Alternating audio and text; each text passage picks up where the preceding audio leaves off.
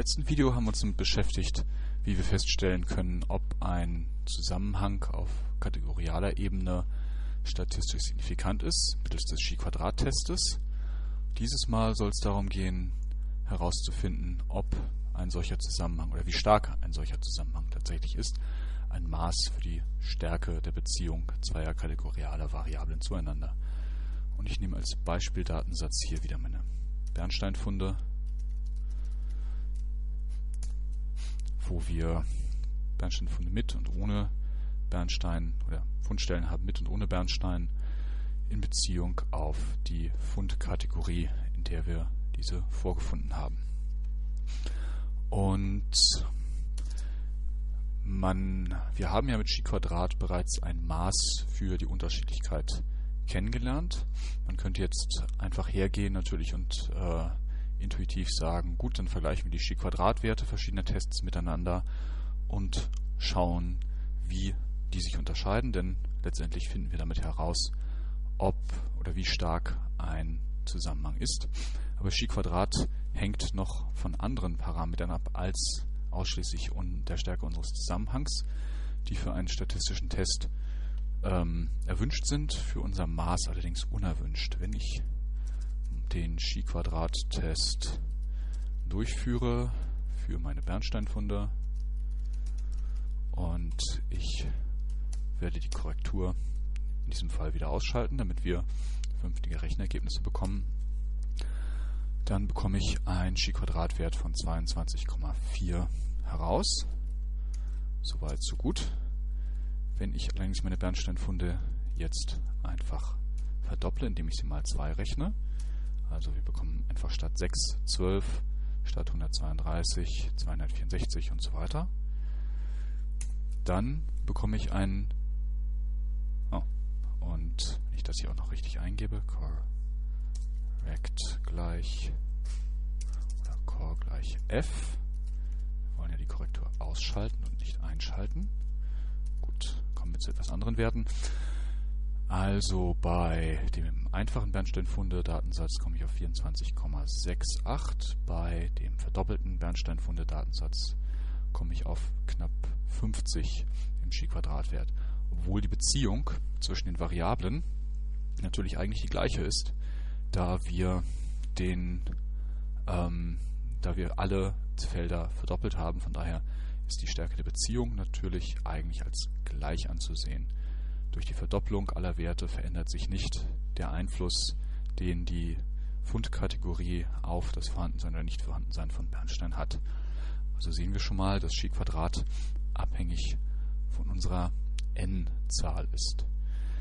Damit ähm, scheidet also sozusagen aus, dass wir unterschiedliche Datensätze in ihrer Stärke miteinander vergleichen können. Wir werden sehen, dass man das natürlich durch Teilen von n korrigieren kann. Aber ich möchte als erstes ein sehr viel einfacheres Maß für ähm, die Stärke des Zusammenhangs darstellen. Das ist Joules Q. Und ich werde erst einmal hier die Formel dafür einführen. Wiederum, indem ich sie hier entsprechend darstelle. Machen wir das mal hier rüber. So. Wir reden momentan von einem Vierfelder, einem Vierfelderfall, wie wir es bei unseren Bernsteinfunden auch vorliegen haben. Also wir haben vier Werte vorliegen, ähm, zwei Fälle auf der einen Variable, zwei Fälle auf der anderen Variable, die klassische Vierfelder-Situation, die wir hier oben mit A, B, C, D, die einzelnen Felder kennzeichnen. Jules Q basiert jetzt darauf, dass wir schauen, wie die beiden ähm, Diagonalen sich zueinander verhalten. Wenn wir ein sehr, wenn wir sehr viele Werte auf dieser Diagonalen haben, dann ist natürlich ein starker Einfluss dieser Variable, ein starker Zusammenhang dieser Variable hier zu dieser Variable gegeben. Wenn ich ausschließlich Siedlungen oder Siedlungen mit Bernstein hätte und Gräber ohne Bernstein, dann hätten wir einen perfekten Zusammenhang zwischen Siedlung oder Fundkategorie und Bernstein vorkommen. Und zwar in perfekt positiven, wir gehen einfach mal die Tabelle sozusagen runter, hier die Variable, also Siedlung ja, viel Bernstein, Siedlung nein, kein Bernstein. Das wäre ein perfekter Zusammenhang. Umgekehrt, wenn wir Siedlung ja, kein Bernstein hätten, Siedlung Siedlung ja kein Bernstein, demzufolge hier viele Zahlen, eine hohe Zahl und Siedlung nein, viel Bernstein, hier eine niedrige Zahl entsprechend, dann hätten wir einen perfekt negativen Zusammenhang. Und das stellt Jules Q im Grunde genommen dar. Also wir nehmen die eine Diagonale, multiplizieren die Werte von a und d, ziehen davon die andere Diagonale ab, indem wir b und c multiplizieren. Wenn hier die Werte hoch sind, wird dieser Term hoch. Dementsprechend muss dieser Term dann niedrig sein. Wir bekommen hier oben einen positiven Wert heraus. Umgekehrt, wenn diese Diagonale hoch ist, bekommen wir hier einen sehr hohen Wert, hier einen niedrigen Wert. Und demzufolge bekommen wir einen negativen Wert heraus. Und das Ganze wird dann noch normiert auf die, ähm, auf die Summe von AD plus BC, damit wir in einen Wertebereich von minus 1 bis 1 kommen. Minus 1 in Joules Q bedeutet einen stark negativen Zusammenhang. Ähm, plus 1 bedeutet einen stark positiven Zusammenhang und alles, was dazwischen liegt, ordnet sich dementsprechend an. 0 bedeutet, dass gar kein Zusammenhang besteht. Obacht wiederum, wir berechnen hier die Stärke des Zusammenhangs. Das sagt aber wiederum nichts über die Signifikanz des Zusammenhangs aus, weil die ja wieder von der Fallzahl abhängt und die schließen wir, die rechnen wir explizit heraus. Wiederum ein Grund, sich vor Augen zu führen, dass Signifikanz und Stärke eben zwei unterschiedliche Dinge sind. Für Jules Q gibt es kein ähm, im Basispaket kein fertiges ähm, kein fertiges äh, Modul oder keine fertige Funktion. Es gibt eine solche in dem Paket Psych, aber wir wollen mal das Ganze entsprechend hier selbst wiederum programmieren, indem wir uns eine eigene kleine Funktion schreiben. Die auch Funktion schreiben ist ja nicht sonderlich schwierig, wenn wir schon die Formel vorliegen haben. Hier, wir müssen einfach nur diese Formel abbilden. Also wir bauen eine Funktion, die nenne ich mal calc Joules Q. Da in diese Funktionsvariable kommt eine Funktion rein, die wir mit R entsprechend ankündigen oder in R entsprechend ankündigen. Und wir wollen eine Eingabevariable haben, die wir mal mit x benennen. Und jetzt kommt der Funktionskörper, ähm, indem wir einfach Joules Q, eine Variable erstellen, indem wir den Wert ausrechnen und am Ende Joules Q wieder ausgeben und ich wandle das nochmal explizit in einen Zahlenwert um. Okay, hier kommt jetzt unsere Formel umgesetzt hinein. Und das ist im Grunde genommen der obere Teil der Formel. Ähm, wir reden von einer Vierfelder-Situation. Wir bekommen hier also jetzt eine Vierfelder-Variable hinein, so etwas wie unsere Bernsteinfunde. Das heißt, Zelle A ist unsere Bernsteinfunde die entsprechende Variable Spalte 1, Zeile 1, also x von 1,1 mal x von, ähm, jetzt brauchen wir d, also 2,2, zweite Spalte, zweite Zeile. Das addieren wir, äh, davon subtrahieren wir ähm, die erste Zeile, zweite Spalte, also x von ähm, 1,2 wiederum multipliziert mit x von 2,1 für unser c hier. Zweite Zeile, erste Spalte.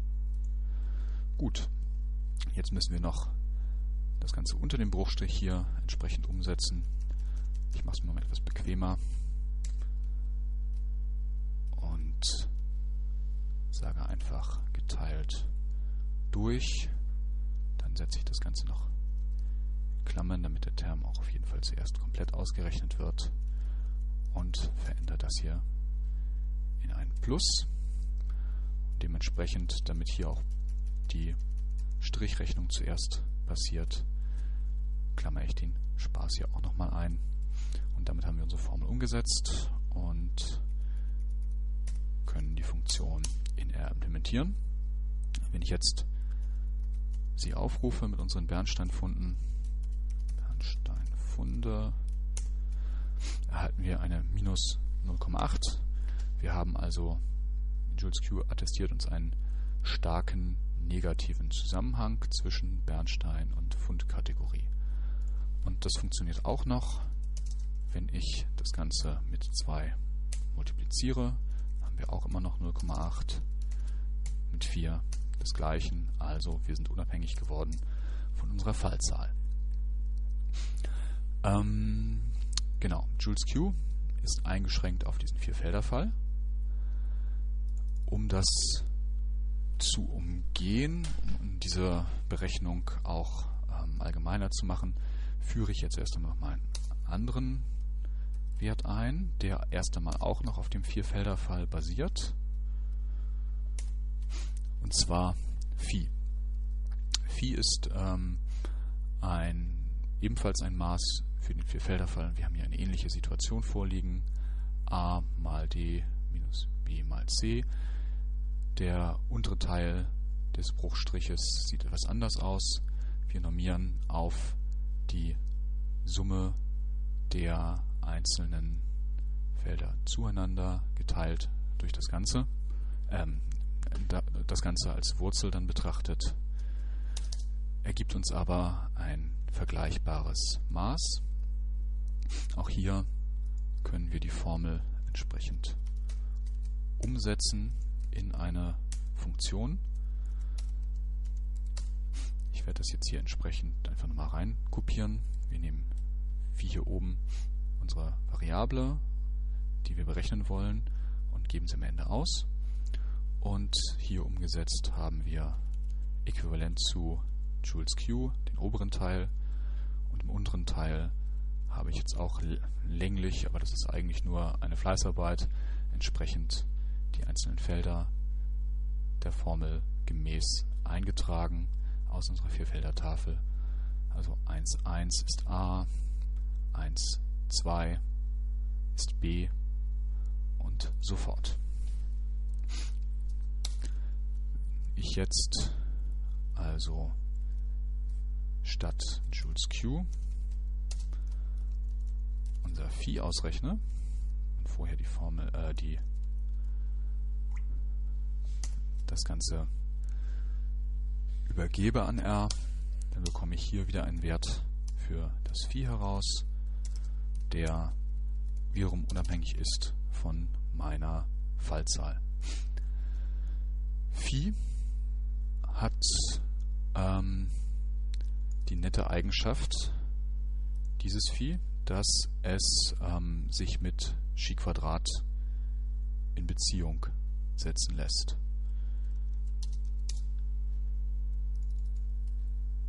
Und zwar ist Phi zum Quadrat immer gleich dem Chi-Quadratwert der Vierfelder-Tafel geteilt durch die Gesamtanzahl innerhalb der Vierfelder-Tafel, die Gesamtanzahl der Fälle. Dementsprechend ist ähm, das Absolute von Phi wir haben hier ein Quadri eine Quadrierung drin, das heißt, wir werden unser Vorzeichen los vom Phi. Ähm, also ist das Absolute von Phi gleich der Wurzel aus Chi Quadrat geteilt durch n.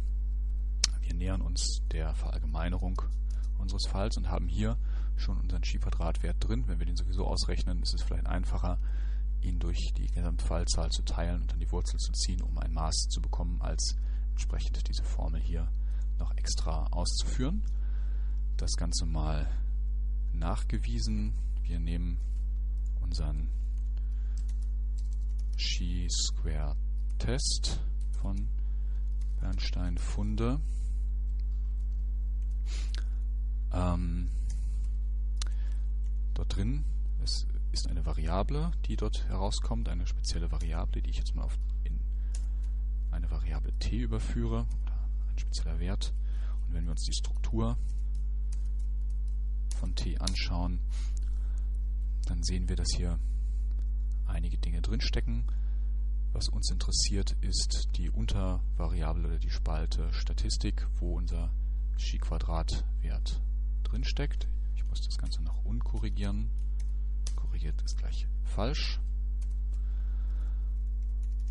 Wir jetzt aber die Variable wegnehmen, denn uns interessiert Statistics, ähm, Statistik, um direkt unseren Chi-Quadrat-Wert ausgespuckt zu bekommen. Und wenn wir den teilen durch die Anzahl in Bernsteinfunde, so erhalten wir einen Wert 0,1234222. Und wenn wir unseren, unser Chi wieder berechnen und das quadrieren, kommt genau der gleiche Wert heraus. Also das nochmal in der Empirik gezeigt, dass dieses Verhältnis besteht.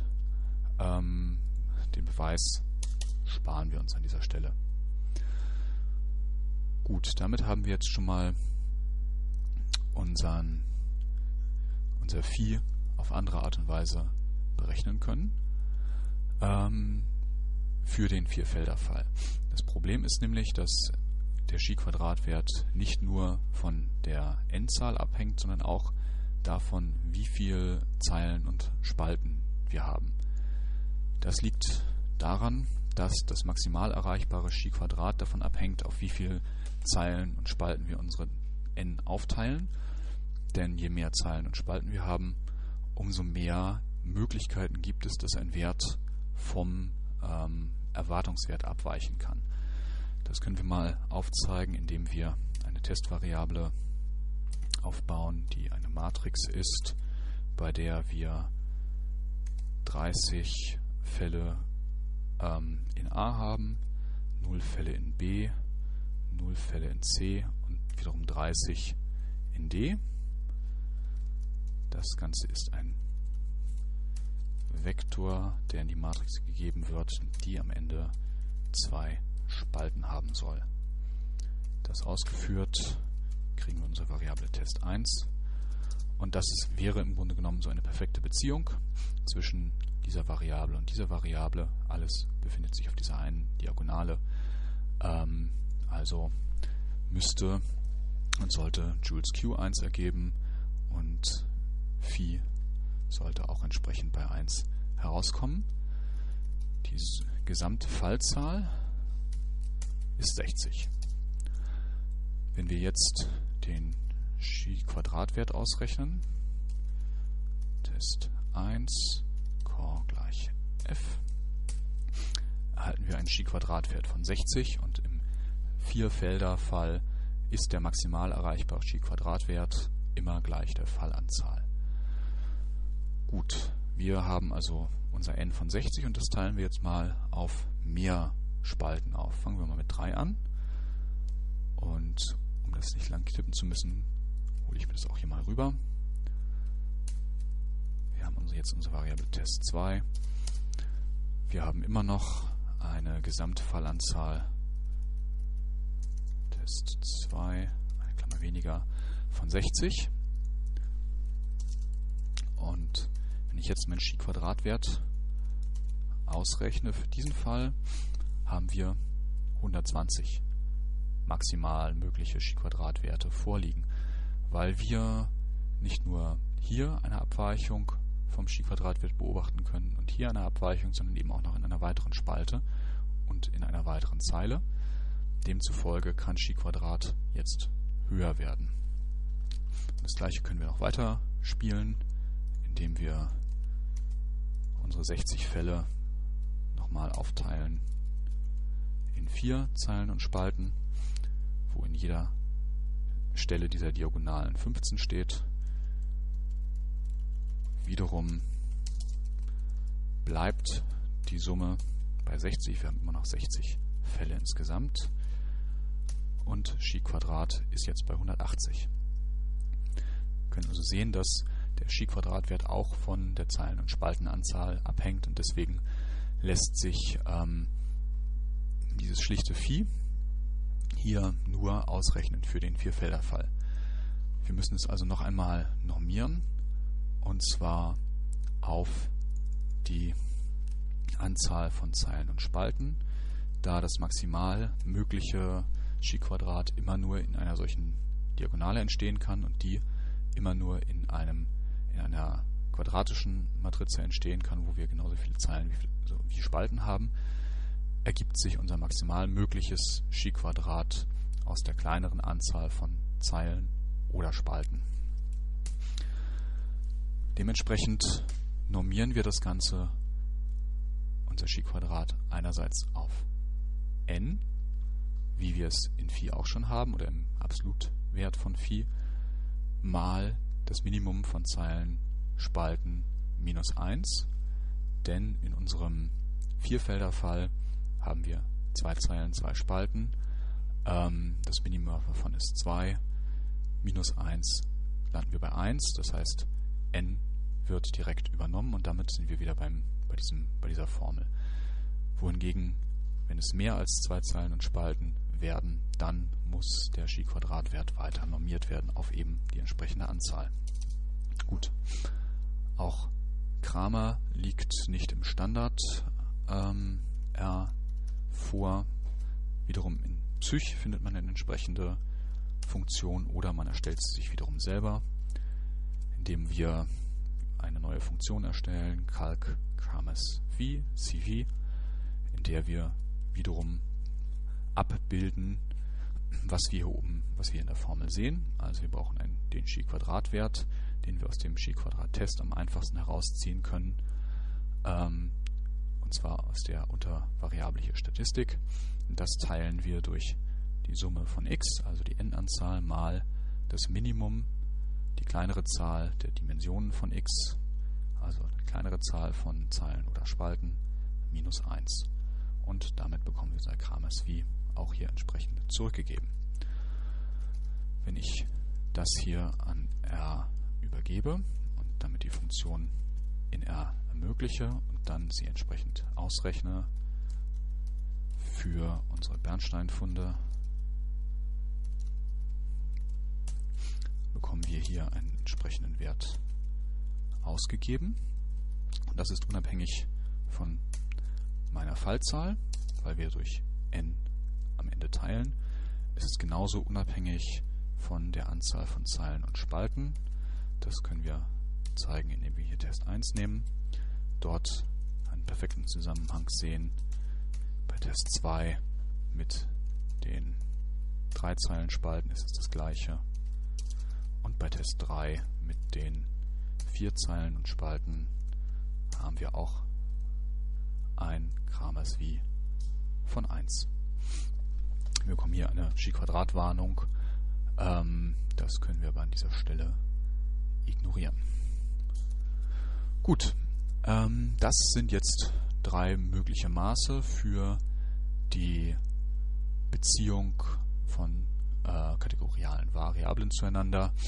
Jules Q als einfachste Möglichkeit äh, für den Vierfelderfall, Phi als weitere Möglichkeit für den Vierfelderfall und Kramers V für die Variante, dass wir mehr als zwei Zeilen und Spalten vorliegen haben. Das nächste Mal wird es noch kurz um den Fischers Exakt-Test gehen, der eine Alternative darstellt zum Chi-Quadrat-Test für den Fall, dass wir zu wenig Fallzahl für Chi-Quadrat haben oder dass Erwartungswerte unter 5 sind, äh, was ja auch eine Anforderung des Chi-Quadrat-Testes ist, um korrekt zu funktionieren.